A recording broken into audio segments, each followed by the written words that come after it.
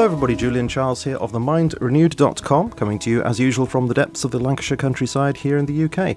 And today I'm delighted and indeed honoured to welcome to the programme somebody who I'm quite sure will be known to many people who listen to TMR, Dr. James W. Sire, author of such very well known Christian apologetics books as The Universe Next Door, published in 1976 which has sold over 350,000 copies and been translated into an amazing 19 languages.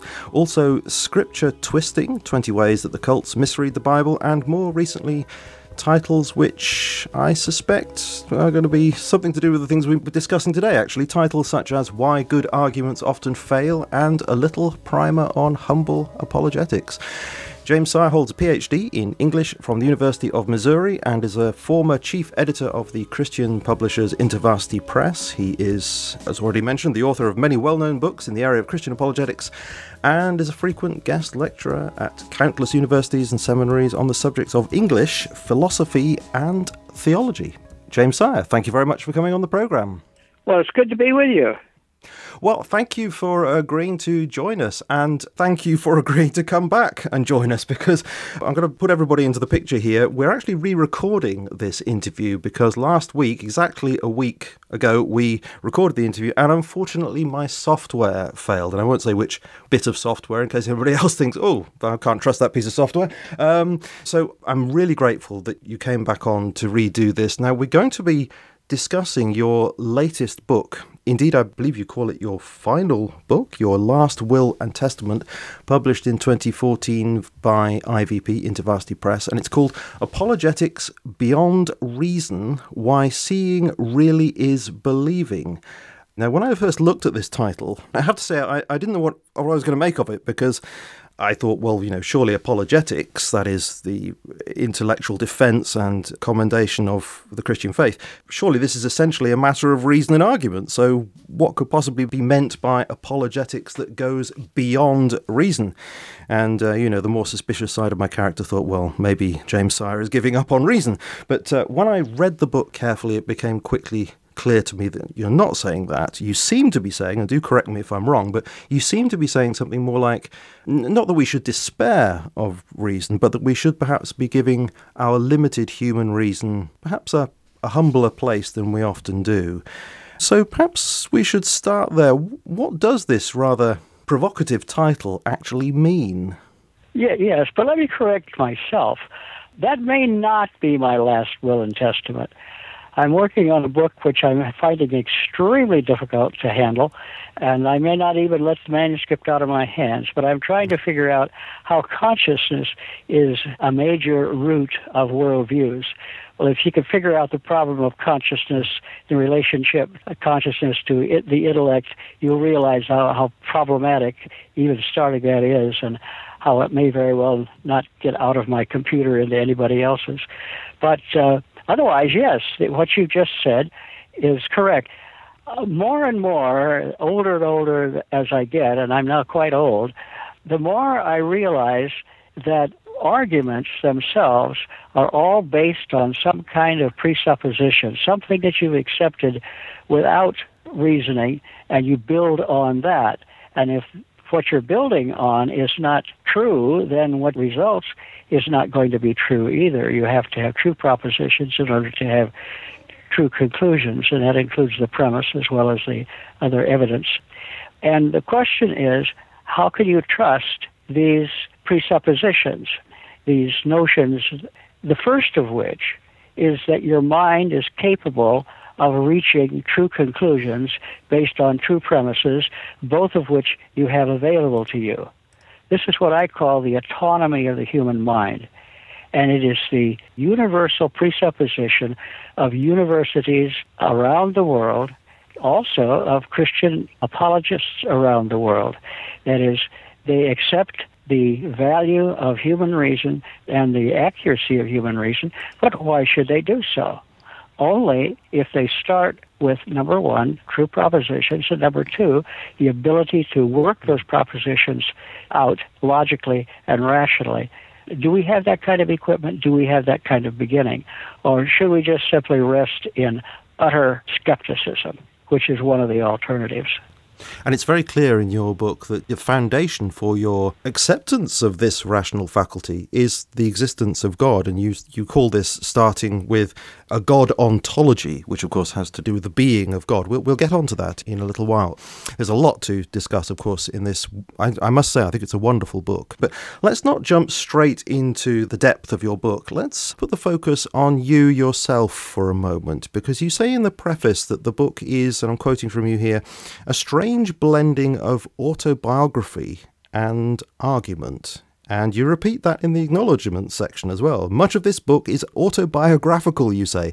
So let's get a brief sense of that biography. How did a boy born on a ranch on the rim of the Nebraska sandhills come to be a household name in Christian thought and writing? How did that happen? the merciful glory of God. okay, we'll move on to the next question. No, no, no. well, I, I was born on a small ranch in on the edge of the Sandhills, one of the most beautiful places in the whole world. Uh, very lonely and uh, very much a place where you grow up as an individual and my dad was a rancher, and I still have that kind of individualist rancher mentality. But I also had very early a sense of curiosity. And one of my curiosities was can I do something other than work really hard on the ranch and, and grow Hereford bulls to breed steers and so forth? And I soon found out, and when I went to the university, that I could do that. Uh, I started out wanting to do chemistry, and I did a minimum major in chemistry. But I ran into some difficulties in science, and so I also double majored in chemistry and English with minimum minors in both. English, right after I finished my English degree, I took a philosophy course in the summer, and I was hooked.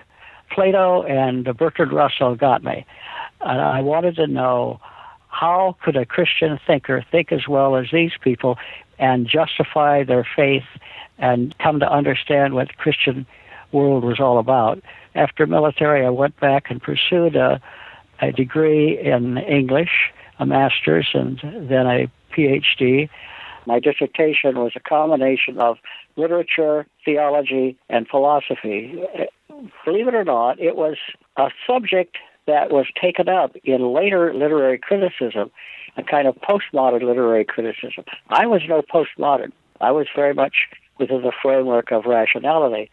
The title of my dissertation was Miltonic Criticism and the Problem of the Reader's Belief. In other words, what is the role of the reader and how much does the reader contribute to the interpretation or the meaning of the text? Mm. It's very philosophical indeed, and some of those things, of course, you touch on in this very book that we're going to be discussing today. Now, of course, listening to you there, I would have thought that perhaps you would have gone into academia, and of course, to some extent you did, of course, because you have lectured very widely, but you chose to centre your career really in Christian publishing. Why was that?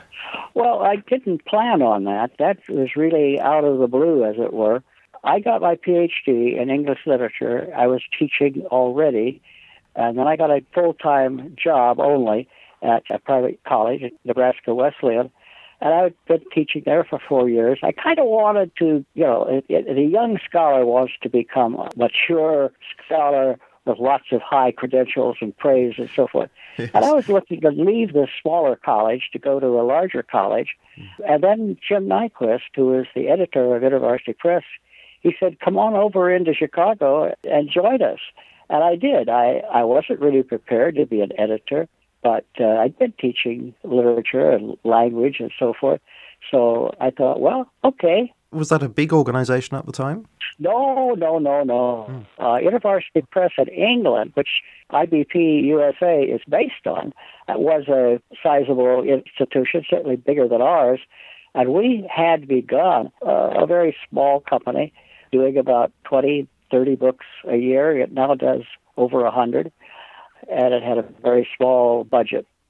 But after a few years at InterVarsity Press, I wrote a book. Actually, I wrote more than one, but the first one that I really wrote that was serious was The Universe Next Door. That got adopted as a textbook and got picked up, especially when the walls came down in Europe and uh, Christians in Eastern Europe could uh, read Christian books that they hadn't been able to get a hold of before. My book was translated into those languages So I got back in the academic world, not so much as a teacher, but as a producer of material that was being taught. Oh, well, let's turn to your book then. Now, you start the whole thing in the preface, and I think you're a bit mischievous here, if you don't mind me saying so. I hope um, so. you say that your approach is a bit like Francis Schaeffer, although you do say you, you think perhaps he wouldn't always put things quite the way that you do. So you begin with some what I'm going to call quasi syllogisms. They look like syllogisms, but they're not really. Let me just speak some of them here because I, I think they're they're rather good. um, so the first one is uh, number one, there is literature. Number two, therefore there is a God. Number three, either you see this or you don't. and then you say more universally, um, number one, there is everything. Number two, therefore there is a God. Three, either you see this or you don't. And um, then you have a third one where I think you're getting this from Peter Kreeft and Ron Tacelli, and this goes Number one, there is the music of Johann Sebastian Bach. Number two, therefore there must be a God. Number three, you either see this or you don't. um, now, I love all that because I mean, it really does make you think, what on earth is going on here? This isn't proper logic, but there is something to this that makes you want to read more and more. And of course, that's what you do. You unfold, you unpack what it is you're getting at here. So, why do you express these ideas like this in the form of syllogisms that are not, strictly speaking, syllogisms? that's well, maybe maybe it's uh, a Christian haiku. You either see it or you don't. um, the the idea is this. I call it direct knowledge. And it goes back deeply rooted in Christian theology because it is a way of understanding something of the transcendence of God and the immanence of God. God creates the universe, He creates us in His image, but everything says something about God. I don't reject uh, natural theology. I think there is a natural theology that is appropriate. I don't think you can reach the biblical God through natural theology, but you could certainly, or so it seems to me, you could certainly reach the notion of a transcendent being that stands behind the rest of the universe. Mm. That would be a kind of deistic God. But the theistic God is the God who makes it, informs us, and tells us about it. So it's a hmm. form of seeing nature as a vehicle through which God speaks to us. And sometimes it screams at us look, this is so beautiful, it can't be only material. Or, this is so awful that if there isn't something behind it, I can't stand it. Hmm. And how do I explain the beauty if there isn't something behind it? And how can I explain the ugliness if there isn't something behind it? It's kind of intuitive. So our ideas arise in our consciousness. That's what I'm going to be talking about in the next book if I finish writing it. The first things we have and understand are not reasoned out, they are immediately grasped.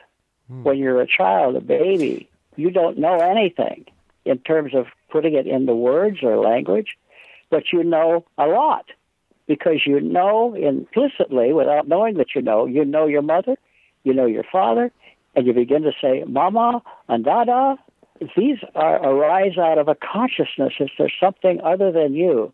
And over the course of one's maturing, you get a greater and greater and greater ability to access reality directly. Uh, so I think. mm. Well, I do agree with you. Uh, the only question I have is uh, how do we justify that intuition? I agree that we do have that. Maybe not everybody does, but I do. So going back to Peter Kreeft's quasi-syllogism there of the uh, the music of Johann Sebastian Bach. I mean, I think of the Largo from the D minor double violin concerto, absolutely fantastic piece of music, sublime. It, it's, it's, logical with these long sighs or suspensions and resolutions between the violins. By the way, people, if you haven't heard that, please hear that piece of music. It's absolutely wonderful. And when I listen to that, I do have that sense of intuiting something beyond which I who I understand to be God. But then I have to ask the question how do I justify that as a rational intuition of God? Am I feeling something, but maybe it's just a feeling? Yes, that's possible. And that's precisely what is said by the atheists who only believe in machinery. Mm. That somehow this has happened, but the explanation for what's happening is that this is just your neurons firing, having been stimulated by some kind of material, something or other, light or shadow or music or sound. Mm. That would be one explanation. But the Christians have at least a voice from beyond that helps them justify what comes without that voice. And this is what I mean. John Calvin, Calvin, early on in his institutes, talks about a sensus divinitatis, a sense of God. And he states, I don't think you could call this an argument, but he states that there is such a faculty, and it is through this faculty, this built in created faculty, that allows everyone to be responsible for what they do with this sense of the divine which they all have. It's not quite the way he argues, but it's the way I argue. It's based in some sense on Alvin Plantinga's notion of epistemology. Yes. But I got to thinking, because you asked me last time, isn't this just the justification for some kind of reasoning? Well, yes, it is that, but I think it's more than that. And so, at least in one of my things that I've had published, I say, well, that's what I mean by it, whether Alvin Plantinga means it or not. yeah, yeah. Um, let, let, me. Actually, I think I, perhaps I need to explain what I brought out last time, um, which you are responding to there, and that is the idea, as far, at least as I understand it, that what Alvin Plantinga is doing, drawing upon Calvin, is he is saying that we as believers have a justification for our intuition of God, because if indeed God exists then it's reasonable to believe that he would have given us a testimony of his existence via the Holy Spirit. And so therefore it's that intuition is reasonable if God exists. So his position really is a defense of faith. But I get the more the impression from your book that you are putting it forward as an argument for the existence of God. And so in a sense I'm wondering whether your use of Plantinga is a kind of circular use, really. You're, you, you're arguing circularly, whereas Plantinga is just defending the rationality of belief. I guess what I'm doing is I'm making an assumption that this sense that I have of transcendence is in fact telling me something that is true. So I'm not so sure it's that much different from Plantinga. Uh, I didn't think it was that different until you challenged me earlier. And then I've been thinking about it afterwards, and I guess, to, again, I think the best thing I can say is I think it's some sort of direct impact of God on mm. me and on other human beings that allow them to do this kind of mm. uh, foundation yeah. for reasoning. Well, can you prove the principle of non contradiction? If you don't use it, you don't make sense. Mm-hmm. So mm-hmm. there's a necessity every argument that's an argument that we would recognize as an argument assumes that contradictions are false. Mm. Why? Because we define truth as a conformity of a statement to what it's talking about. There's some kind of conformity there. Sure. So yes, and in the, in the case of logical axioms, then we have a deep sense of dissatisfaction if we go against them. I absolutely agree, and every, well, every reasonable person experiences that dissatisfaction to say, well, A and non A are both identical, same time, same place. It just, no, that doesn't fit. And I, and I see how that maps onto the kind of thing that you're saying that we have this intuition of something or someone beyond, and to deny that is deeply unsatisfactory. And I see there's a kind of parallel there. Um, I mean, really, what I think you do in the book, um, and I think it is a, a, really very, very interesting book, and I do recommend people read it, is you present your way of seeing reality as see it my way. um, and you're giving reasons for that, but that's absolutely acceptable, isn't it? I mean, wh- why should we not? argue for the way we see the world in that way. It's not you just say, I see it this way, and then just throw it out. You actually present a whole way of seeing literature, a way of seeing philosophy and faith. I think you call it a winsome expression of faith. And the invitation is see it my way and see what that's like. See if that makes sense to you. So, in a way, I see what you're doing less as a rigorous argument, as more as a way of approaching evangelism, which seems quite fine to me. Well, when you when you link it up with apologetics, evangelistic apologetics, hmm. what you try to do, or what you should do, is put in front of people a presentation of the presence of God. Now, you can't do that by saying, I'm God. Hmm. I have a friend who says that that's what she is. She says, I'm God, and then, of course, she thinks I am too. Uh, that won't work. But what does seem to not just work, but explain, or what often happens to people in the process of becoming Christians, they suddenly recognize that there's a reality there that they hmm. haven't seen before.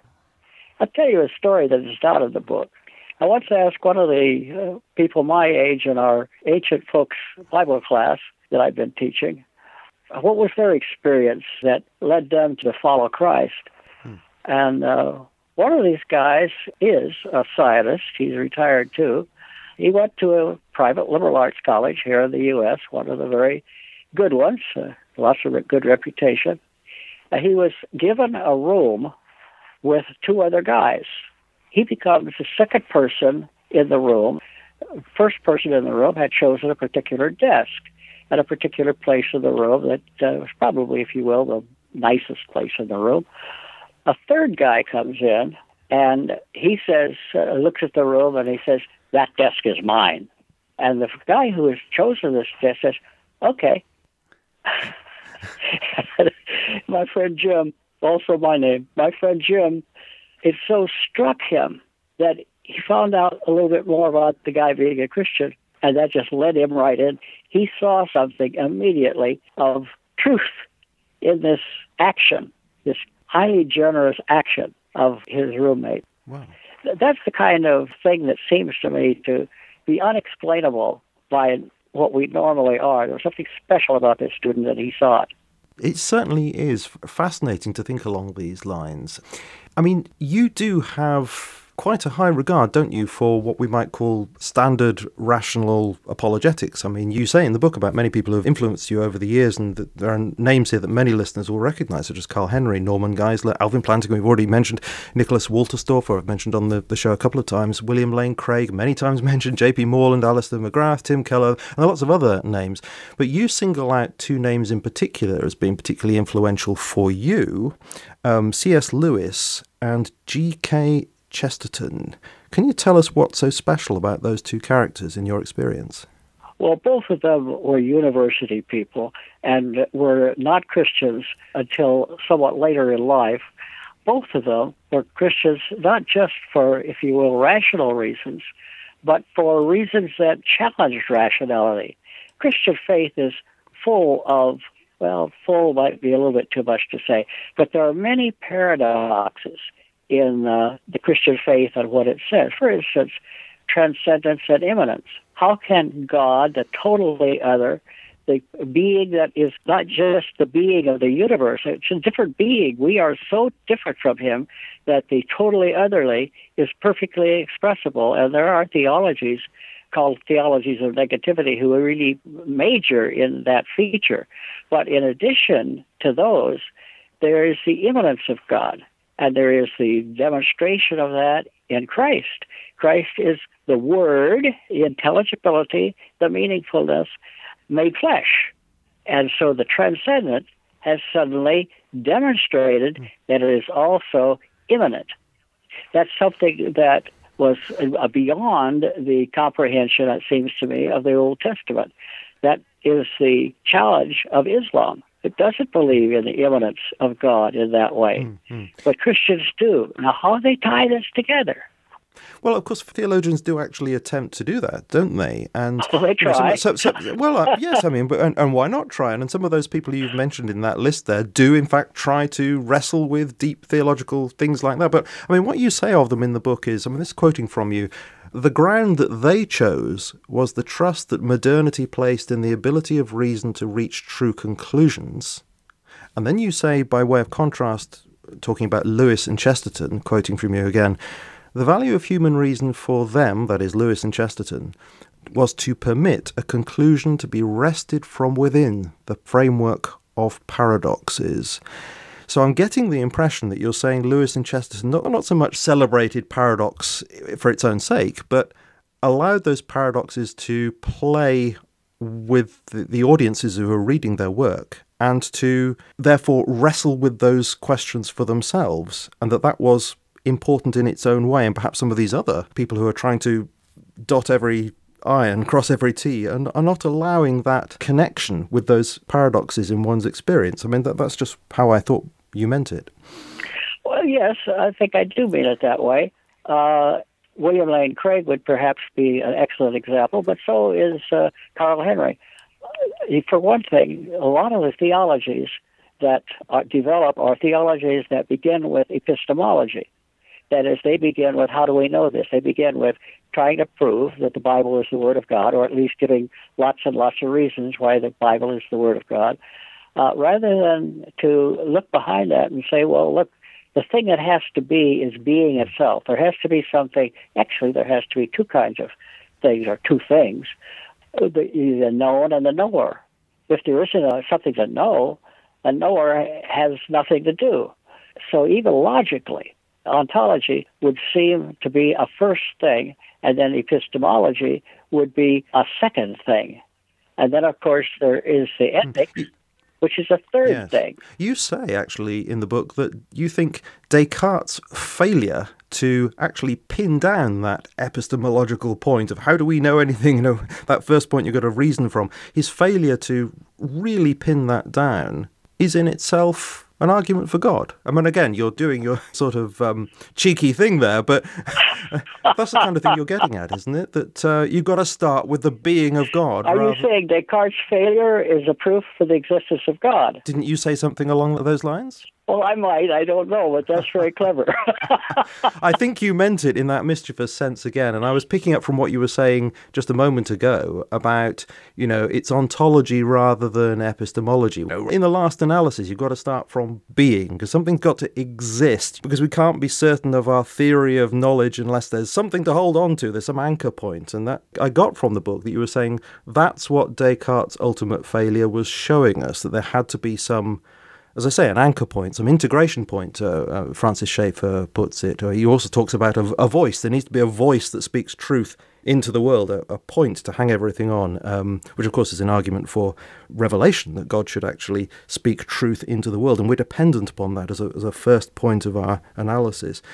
Um, I got the impression that's the kind of thing that you were saying there when you were talking about the need for the primacy of ontology. There's got to be God. That's the first thing. That's it, being.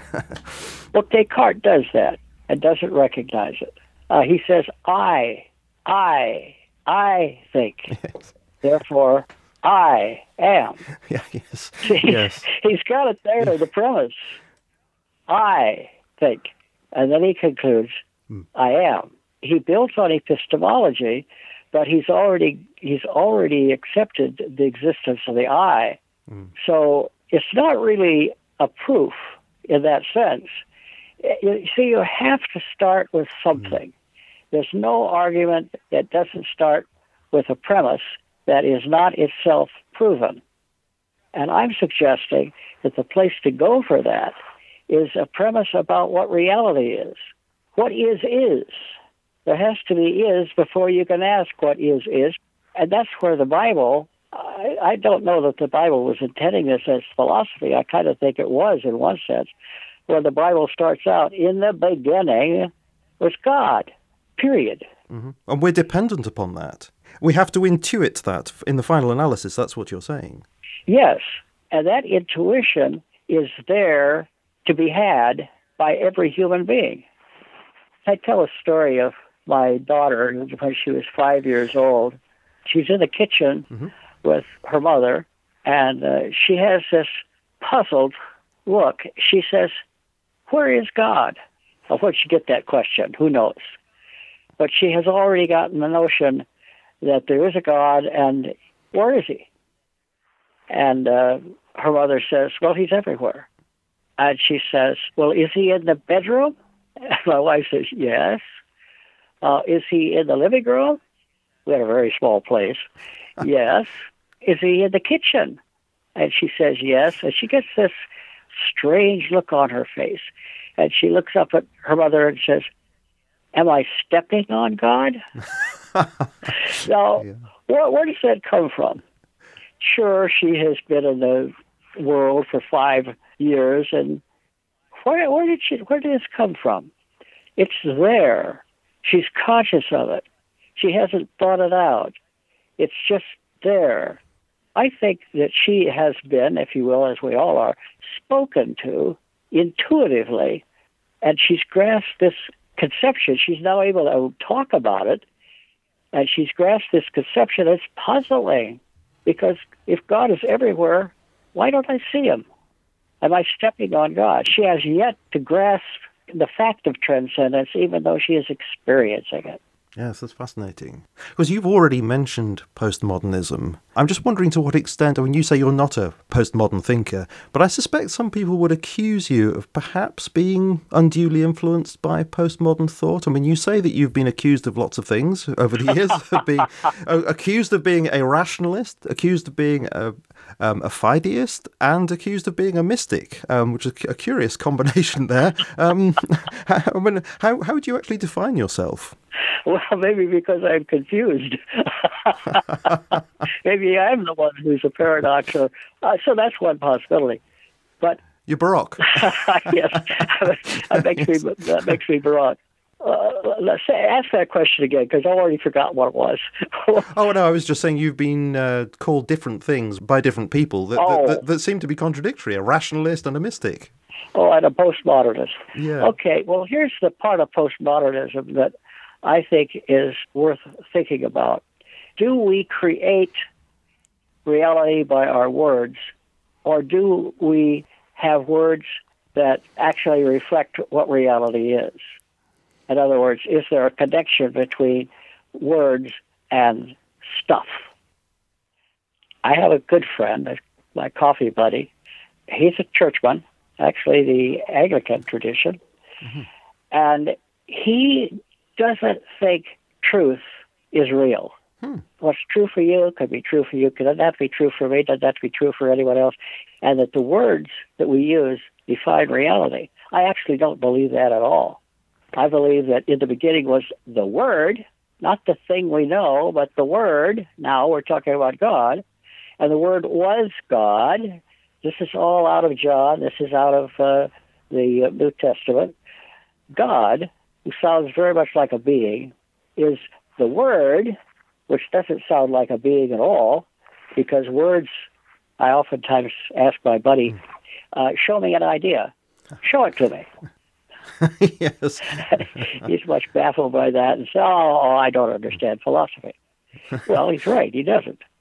But the postmodernist says, no, he's right. There is only material. And we invent words to describe the material, and I don't do that at all. But I'm conscious of language being very powerful. Language qua language.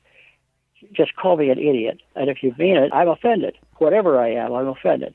So there's a connection between words and reality. And if a word is made up and it's a false word, then it's wrong. But it can make you, if you are not strong, all the words people use about you can make you into somebody that you really are not. Now, we all know that Trump is a winner. and all the rest of us in the United States know that if we don't follow Trump, we're losers. We're losers. I'm telling you, we're losers. That's all we are, is losers. oh dear, yes. you see, we're in a we're in a particular quandary here. I, I, I can see you're certainly in a quandary. Yes, um, it's amazing how uh, Donald Trump ends up in all sorts of conversations, isn't it? He seems to be uh, al- almost unavoidable somehow. well, uh, there was a movement in, in your country to not let him come in. Yeah. It, it failed in in uh, in the parliament, but there was a law put in put oh, forth yeah. by somebody. This is we're got to keep Trump out of here. We don't want anything to do with him. Neither do I. But, but we are, no, but there are a lot of here in the United going. States, you know. We've got a lot of old things going on here in this country at the moment. yes, actually, you do. to say. We certainly do. Um, so it seems to me then that you are the way in which you regard postmodernism is certainly not in a radical sense, but in that sense of a critique of modernism just does not lead you to all the answers. It deconstructs itself, and so we're, yes. we're left with some fundamental questions. Now, um, you talk about the relationship between philosophy and literature. In your experience, the two have been intertwined very intimately. And you talk about two cases with respect to this intertwining of philosophy and literature. One is Descartes, we just talked about, and the other one is a Polish science fiction writer called Stanisław Lem. And I love the way in which you talk about this little story that he has because you bring so much out of that little story and you allow that story and, and what it is you conclude from that story to show us that our reason is not the be all and end all. It's it's moving in the direction of needing to have that intuition, of, of needing to have that grasping of the reality of a big narrative, a big meta narrative, which ultimately, of course, is God. Could you talk us through a little how you deal with that story of Stanisław Lem and what, what you bring out of that? Well, first of all, Stanisław Lem in his essays makes clear in a prose fashion that he's not a believer in God, that everything turns out to be material. Mm. But the story he writes is in some ways his way of critiquing any kind of spirituality. This is the story. He writes a story about a uh, being that arises on a planet on which all kinds of life is dead. The only thing that's around is a bunch of junk it's like it has been destroyed by some sort of nuclear disaster and there isn't any life whatsoever. But a jug thrown out of a spaceship flying by ends up knocking some material together, trash, that has been in a puddle, and this begins to form a robot, a mechanism. It falls together and it becomes a robot, and it walks around, looks itself in a, in a public water and he says, Oh, I'm beautiful, which implies the existence of beauty beyond, that God is beautiful. And then he stumbles and falls back into the puddle and he doesn't exist for another 314,000 years or so. Uh, and then, just through the natural working of the puddle and the stuff that's in the puddle, and another blow from the outside disturbs this puddle. And then what is formed is a mind this is Mymosh 2, a new robot, except he, he has no physical existence. All he is is a consciousness. And he argues for this consciousness. He looks around. Well, of course, he's not looking, but he is perceiving around, and his consciousness does not show him anything else, nothing else at all. Uh, so he concludes that he's God. And he creates in his mind all kinds of characters and creatures and then after a few years of doing this and having his place filled with creatures that are good, but then another jolt comes into the pond, and suddenly he loses all of his consciousness and he doesn't exist anymore. As Lem says, he never knew of his passing. His consciousness was gone, so he is gone. A completely naturalistic story. But what does it show? Who told the story? who knows what these creatures that came out of the puddle actually are? They don't know who they are. They're wrong. The creature who has senses and looks at himself in the pond and sees himself makes a judgment that isn't true. How do you know it isn't true? Because Lem says it's not true. How does uh, the creature in the puddle, the, the mind, that is just pure mind or pure consciousness, how does he know anything? He actually is wrong. How do we know he's wrong? Because Lem tells the story. Because Lem is in charge of the big narrative. That's right. This is Lem's world. That's the key to understanding. This is this is the world Lem creates. Nothing wrong with Lem creating this world. That's what C.S. Lewis and G.K. Chesterton and John Milton and everybody else that writes literature has done. They create their own world. Hmm. But Mymosh makes a mistake. He does not know who he is. And the only reason we know he doesn't know who he is is because Lem tells us. In other words, the mind that is just a mind alone is in a box and he doesn't know it. And my point is that unless there is something outside the universe that tells us, mm. this is the justification for our understanding of revelation. Right. Unless our creator tells us or unless there's something outside of the world, whether our creator or not, breaks into the world and tells us from the outside, we can't know who we are. So we are like Mymosh. We're like Mymosh. We, we have perceptions, we have thoughts, but unless we know what the big story is, and it's only the author who knows what the big story is, then we're we're just looking around and we're rudderless, essentially. Exactly. It's a critique of the autonomy of human reason. Human reason is given to us. Mm. Yeah, but you make a, another step, another really interesting step at that point, because you then say, but Lem, as the writer of this story, is himself living inside a bigger story because Lem, of course, is not the creator of the whole universe or is not right. re- responsible for the script that is the whole universe. Let's just play with that idea. Maybe that we might think of a script, a big script that is the universe. Don't even talk about God for a minute. Um, Lem doesn't know what that is. He's just an, an author writing a story. So his interpretation of reality could be wrong. And it could be, in fact, the case that there is indeed a God and that there is reason to all beings that exist, in which case Mymosh might actually have been correct and it could be Lem that's wrong because there's an, an, author of all things who has the true big meta narrative. I, I, I love the way you bring that out of the story. I guess if Mymosh was the creator, well, first of all, he wouldn't have originated himself. God does not originate himself. That's the puzzle for scientists.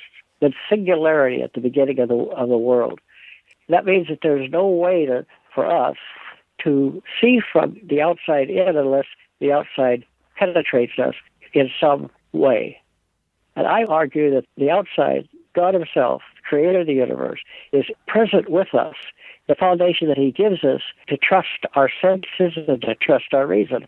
It's God who underlies that and who reasonably underlies that. Without Him, we wouldn't have any confidence.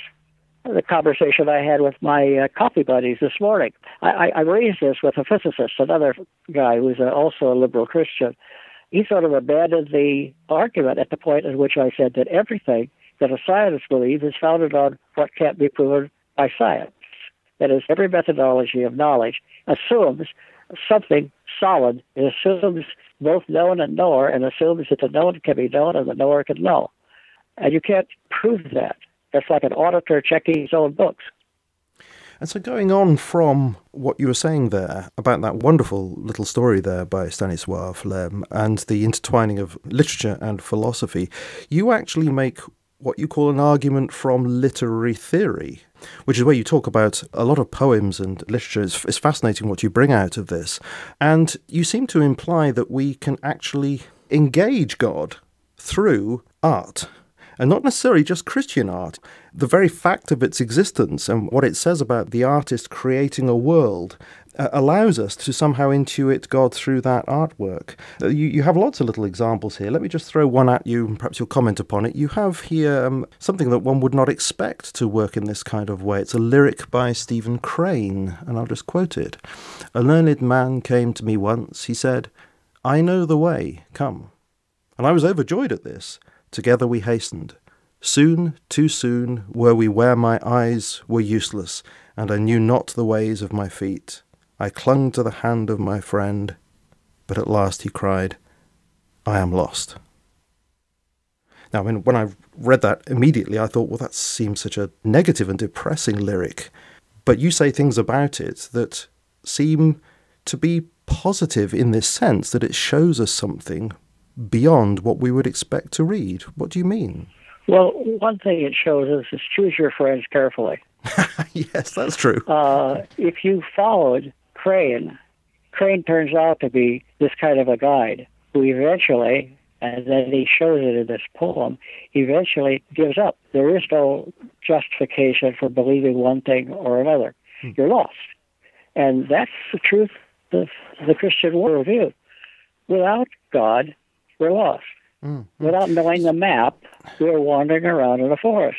You see, what I'm driving at here is that I think most people, and I, before I read your book, I would tend to think along the lines of, you know, what would lead me towards God? It would be the sort of overtly positive kind of art, the positive kind of literature. So, for example, you you bring up the poetry of Gerard Manley Hopkins, and you quote, for example, from his God's grandeur. So we have a line like, "The world is charged with the grandeur of God," and it has that fantastic line. Um, The Holy Ghost uh, over the bent world broods with warm breast and with, ah, bright wings. And that's so charged with the presence of God somehow that, yes, that's the kind of thing you'd expect to encounter God through that. But then you turn to one of his terrible sonnets, so called, with its sort of self loathing last lines like, um, self yeast of spirit, a dull dough sours. I see the lost are like this, and their scourge to be as I am mine, their sweating selves, but worse you know, and that just breathes despair and self despair. And yet you say they both point towards God. How so? Well, they're right. Without the kind of assurance that you get in God's grandeur, you can become a despairing Christian. He's lost something. I don't think he's lost his faith. I think he's just down at the bottom of, of who he is as a human being. He still has this sensitivity that there ought to be, there ought to be, there ought to be. And if there isn't, what's the end? Uh, it's worse than I am right now. If I were the only person in the universe, it's worse than that. So he's he's experiencing that it ought to be like this, but I, I'm not living up to that, and this feels wrong. So what are you saying that Hopkins is communicating that sense of it ought to be different to us, and we're saying, yes, it really ought not to be like this, and, appealing, therefore, to the fact that we haven't this deep sense of oughtness. That's right. That there should be a resolution to these things. Life shouldn't be uh, as awful as he d- depicts there. And where's that coming from? And that sense points towards God. Is that that seems to be what you're saying? Well, I, it is because part of the image of God that we are given mm. is this sense of right and wrong. It's innate. And of course, you then extend this to non Christian writers, and you talk a lot here about uh, Virginia Woolf, and it's very interesting what you say about her. And of course, this is very uh, central to me, um, having been trained as a musician and worked as a musician for a number of years. You know, I had to deal with this question. People would ask me, "How come you listen to non-Christian music so much?" and, I've always felt that, well, you know, why shouldn't I? But you know, when you start thinking that through, um, the question does become, you know, is it right to be listening to non-Christian music? Why do I find that fulfilling? What is it about that? And I think some of the things you say here with, with respect to Virginia Woolf are very helpful in that respect. That what she writes, even though it's quite negative, quite depressing, still attests to the existence of God. How is it? How do you make that case? Well, one thing is to filter off the content. You can't do this, but you do it for the time being. You filter off the content, which is depressing, and you look at the form. Hmm. And the stories that she tells are so artistically told that they have a kind of compelling hmm. reality. And the reality that they compel you to see is this terribly depressive reality. She had a very, very depressing life. She finished her last book and she filled her gown with stones and walked into the River Ouse. And she just finished a beautiful book in terms of its artistic character. So if you're going to do a good writing, you are mm. going to do writing that has a goodness that is not explainable by the otherwise despairing nature of the world. So that's the argument from beauty. That's the argument from Bach metal or something like that. But then I don't understand metal. It's a lot of this, a lot of this modern music. I just don't understand. I don't want to listen to it. I don't want to understand it.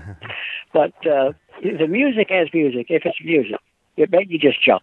I, I yeah, I do get so what you say in this argument. I mean, when you look at the the beauty and the artistry of what she's done there. I mean, you make a lot of Jacob's Room, the book that she wrote, and you point to the fact that the way she writes shows that she didn't really think of reality as something tangible. She didn't really believe in reality in some ways, and she writes in that very uh, impressionistic way to give that message across. It's part of the structure of what she writes. But just a little quote here: uh, "Tears made all the dahlias in her garden undulate in red waves, and flashed the glass house in her eyes, and spangled the kitchen with bright knives." Talking about the light and the effect of everything, nothing was quite real.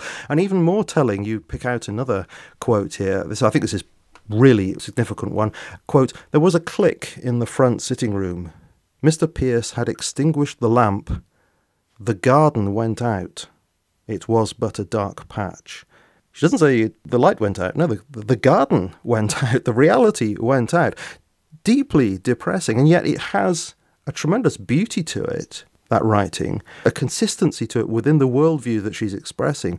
And yet, when I, I read that, I feel a sense of deep dissatisfaction with her worldview. And that in itself seems to lead me back to saying, no, there must be something more than this. Yeah, for Virginia Woolf, consciousness is all. Mm. Uh, are you conscious? What are you conscious of? You can't know. She's very depressing. You can't know what is. Mm. You can only know what the phenomena tells you. And phenomena is not just stuff, it is your consciousness that makes phenomena phenomena. Phenomena is not data unless language really fits reality. But she would emphasize that it is us who are seeing, and us is just consciousness, and that's all. Mm. And she doesn't go beyond that. She can't get beyond that. Can't get beyond it. Although she, you quote from a later part of her life where she seems to be pushing in that direction, but still can't quite go there. Let me quote this because I think this is really interesting. Quote, Perhaps this is the strongest pleasure known to me. It is the rapture I get when in writing I seem to be discovering what belongs to what, making the scene come right, making a character come together. From this I reach what I might call a philosophy. At any rate, it is a constant idea of mine that behind the cotton wool is hidden a pattern, that we, I mean all human beings, are connected with this, that the whole world is a work of art, that we are parts of the work of art. She's almost there. Just about. Hamlet or a Beethoven quartet is the truth about this vast mass that we call a world. And then she says, But there is no Shakespeare. There is no Beethoven. Certainly and emphatically, there is no God. Yeah. We are the words. We yeah. are the music. We are the thing itself. I see this when I have a shock, etc., etc. She gets almost there, and she won't allow herself to go beyond what it is she is really intuiting. Yes, yes she recognizes something that she can't actually incorporate. It doesn't work, not satisfactory, but it's beautiful. Mm. So much of the writing in Jacob's Room, this is one of her first uses of stream of consciousness. I think in every novel that she wrote, she uses stream of consciousness, but everyone is used differently. The very first time she used it, I, I really enjoyed seeing how you would write a story without actually being able to tell something that really happened or that you could pretend that it happened. All you could do is to account for the consciousness that you have. It's very, in some ways, it's like uh, you've accepted yourself as God. Mm. You're Mymosh who has no, no actual ability to see reality.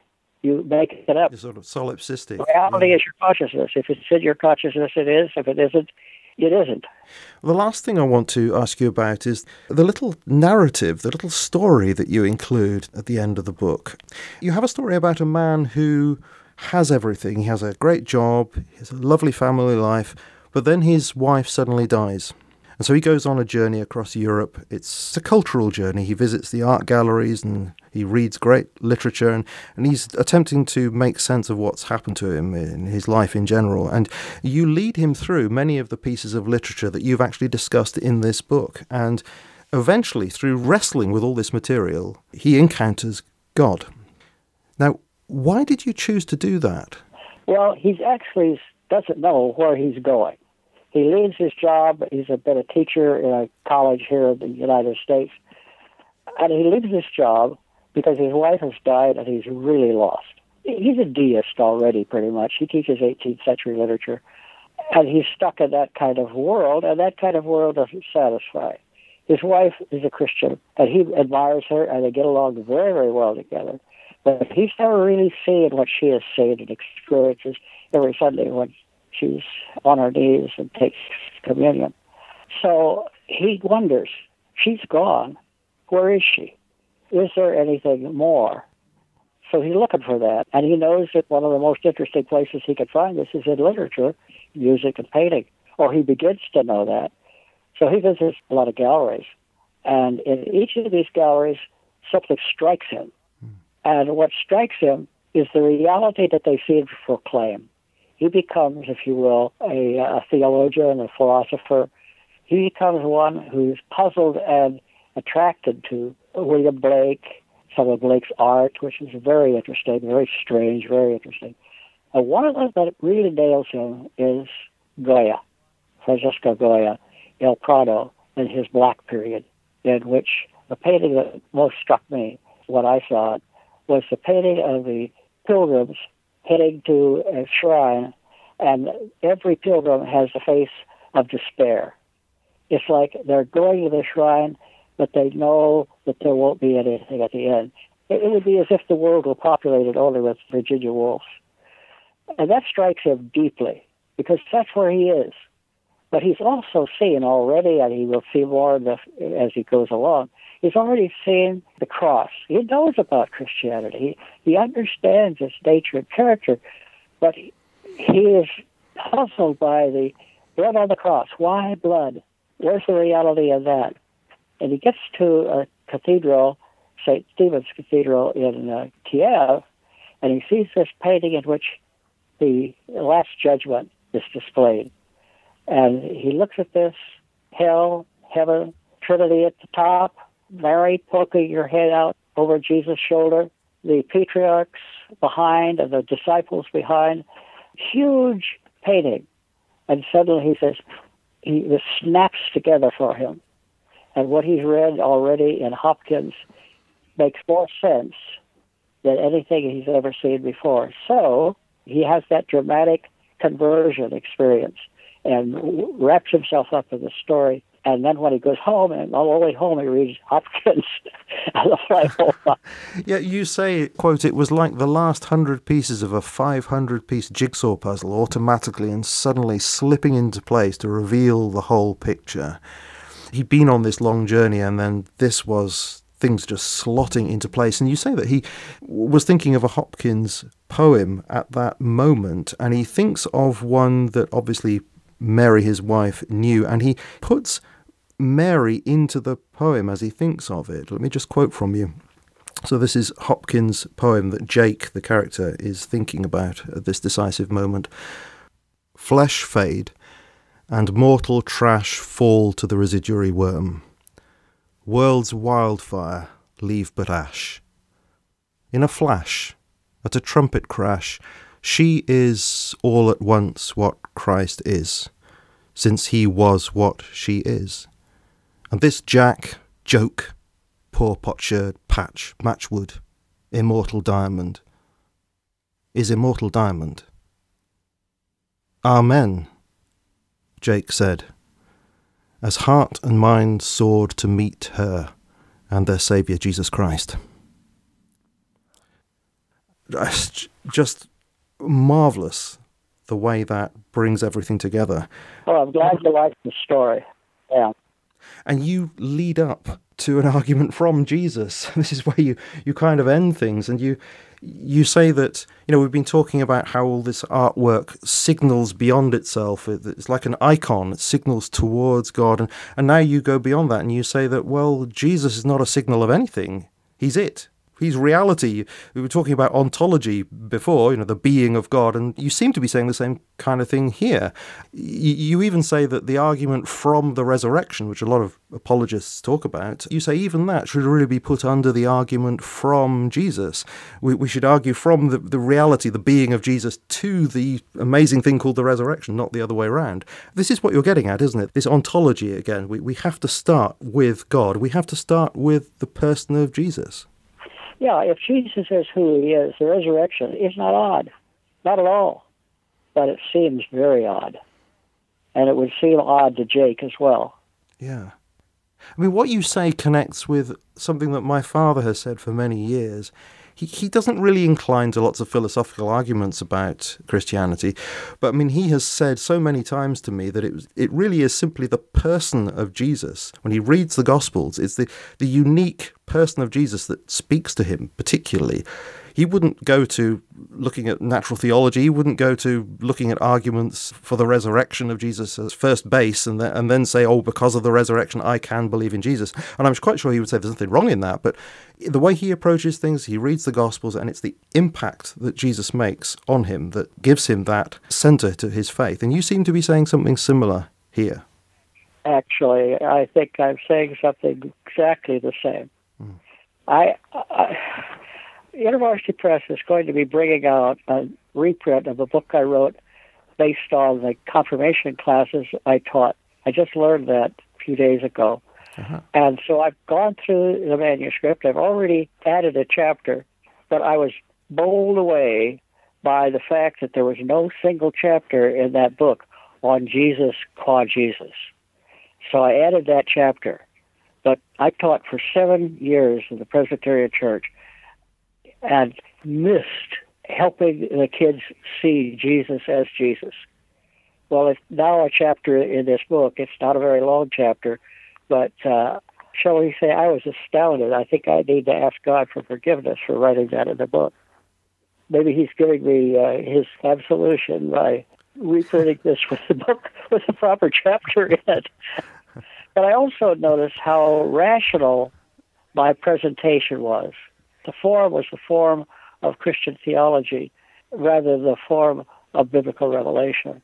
So it's very rationalistic. You're very saying, much so. Yeah. Hmm.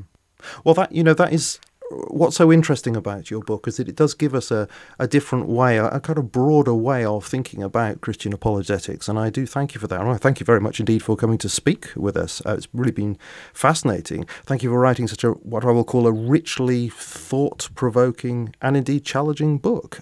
I mean, you acknowledge that it is controversial. Clearly, it's a controversial book. But I, I, I think that's a good thing because I think it is you know, it gets us questioning the ways in which we do things. It's always good to be challenged. Um, but I, I do think more than that, it presents us with I mean, at the very least, it presents us with a different dimension to our articulation of the Christian faith to an unbelieving world. It invites us to consider more, well, as you put it, the value of, of doing this, laying before the watching world such a winsome embodiment of the Christian faith that for any and all who are willing to observe, there will be an intellectually and emotionally credible witness to its fundamental truths. I, I love the way you put that. A winsome embodiment of the Christian faith. And this book, Apologetics Beyond Reason by James W. Sire, is of course available from InterVarsity Press. That's ivpress.com. And I will, of course, put links to that in the show notes. I highly recommend it. it. You may not, if you get this book and read it, you may not agree with everything that's in there, but that is not the point. It gets you thinking, as I say, provides this broader way of considering how we might go about things. So I thank you, James Sire, again for taking the time to speak with us today and uh, for speaking this second time. It was really, really good of you and a great joy to speak speak to you. Thank you. Thank you. That's high praise, by the way. You you ended up with very high praise. No, I loved the book. I really Thank did. You. When I started, I told you before, when I started, I didn't know where it was going, and I had that sort of feeling of, hmm, I'm not sure about this. um, because of this, you know, like, like, you were talking about those apologists, and I thought, well, I like all these apologists. How, why is he saying they're, they're not quite up to snuff in some way?